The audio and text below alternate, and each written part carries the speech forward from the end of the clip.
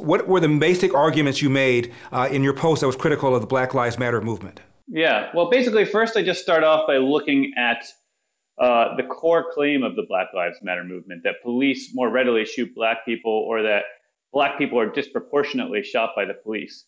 Um, and you know the the statistics on that are pretty clear actually. So about about 30% to 100% more whites are shot each year by police. But the Black Lives Matter movement says, well, there's six times as many whites in the country, so there should be six times as many whites shot by police if police are shooting people in an unbiased way, um, basically making that decision when they need to use lethal force in an unbiased way.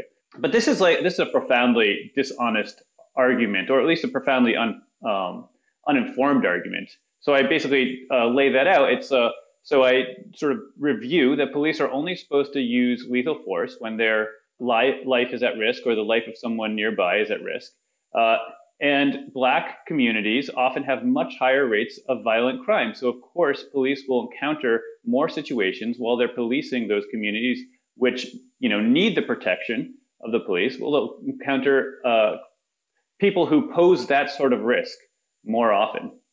Um, and then I, so I, you know, and when you look at it that way, of course, uh, when you compare it uh, to the rate of uh, violent crime, or we compare it to the rate at which police officers are murdered, which is probably the best measure of the danger that they face, it's actually whites who are slightly disproportionately uh, shot by police uh, and not blacks.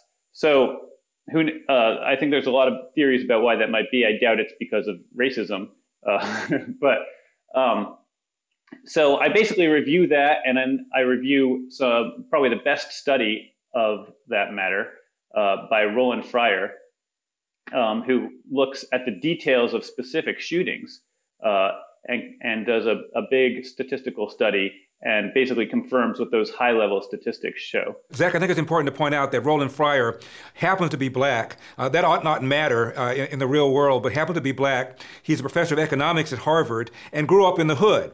And he did a study, as you point out in, yeah. in your paper, uh, where he assumed he was going to corroborate the idea that the police were engaging in systemic racism against blacks, more likely to shoot and kill blacks just because they were black. He was shocked that his findings show the opposite. He got rid of his entire research team, hired a new research team. Bad news, same results. Yeah.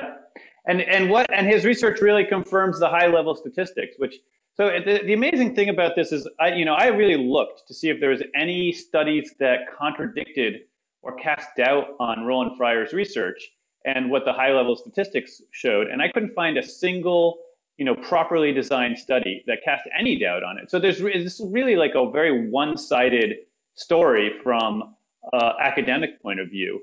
Uh, when you look at those statistics and you look at the studies available, it's really hard to find anything on the other side.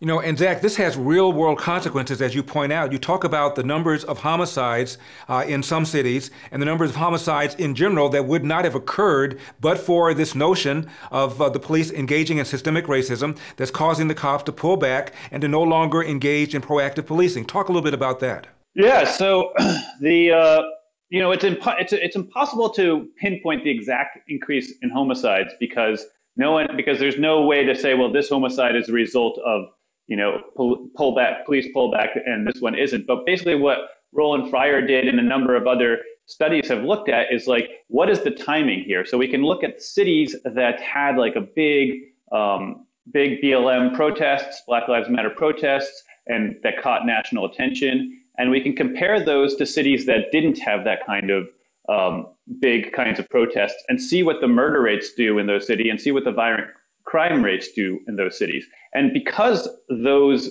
protests happened in different cities at different times, that also helps to isolate the effect specifically of those protests as opposed to long term ongoing trends in crime nationally or even regionally. And what they discovered is when Roland Fryer did it, for instance, he looked at uh, five cities that did have um, these kinds of protests and uh, compared it to about 20 cities that did not. And he found that in just those five cities, uh, there was somewhere in the neighborhood of 900 excess murders just over just over a two-year period.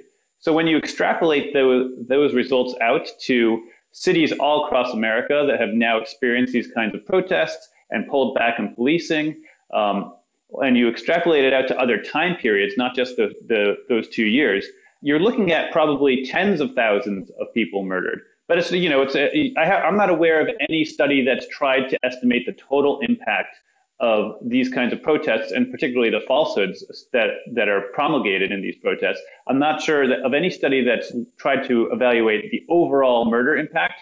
So it's just it's sort of a guessing game. Right. But you know, at the very lowest, we're talking about a couple thousand murders, uh, people dead who wouldn't otherwise be dead. Um, and it's just so it's just astounding the impact. Uh, and it could easily be tens of thousands. You know, and, and Zac, the police are where the crime is. And it's a fact that a young black man is eight times more likely to be murdered than a young white man. And almost always the murderer is another young a black man. The number one cause of preventable death for young white men is accidents like drownings or car accidents. Zac, the number one cause of, prevent, of death, preventable or not, for young black men is homicide. And again, almost always at the hands of another young black man. That's why the cops are there. Yeah, exactly. I mean, these are communities that need protection. They're they are vulnerable to violent criminals. And it's just amazing to me that people are saying and as you point out, the police kill more unarmed whites every year than unarmed blacks. Yet you talk about a, a survey that was done uh, among people who describe themselves as very liberal. And among the very liberal people, more than half of them believe the police kill over 1,000 unarmed black men every year. And I believe in a recent year, the number was something like four. And about 8% of the very yeah. liberal, self described very liberal people believe that the police kill 10,000 unarmed blacks every year. Yeah. And so you can understand if you believed those things, if you believed there were police were killing 10,000 unarmed blacks every year, then then the Black Lives Matter movement and the claims they were they were they're making would make a lot more sense, right? So it's it's it actually makes it a little bit more understandable when you realize just how radically disinformed uninformed people are, or disinformed is probably actually the better word. But but then that just leads you to the question of like how did how have we totally failed to communicate the most rudimentary facts about policing and and racial violence to our populace, um, and and especially to one really to one side of our populace. Uh, and so that sort of leads you to the question of well, what's going on in these media institutions, and actually. Hope you enjoyed that short video. Now, to watch the full video, just click on the link below and watch it on Epoch TV. It only costs $1 a month to sign up, and you'll get unlimited access to all the great exclusive content on the platform. Now, as you know, this show is now exclusively on Epoch TV. So, by signing up for just $1 a month, you're supporting me and my team to keep it going. I promise you, you'll not be disappointed. Thank you and God bless. I'll see you on Epoch TV.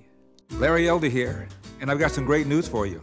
If you're tired of the censorship in this country, then you're in luck. You can go over to epochtv.com and watch honest programs that don't spin the facts. EpochTV.com is a brand new, no censorship video platform where you can watch not only my show, but other deep documentaries, great program, wholesome movies that you can watch with your entire family. So head over to EpochTV.com. I'll see you there.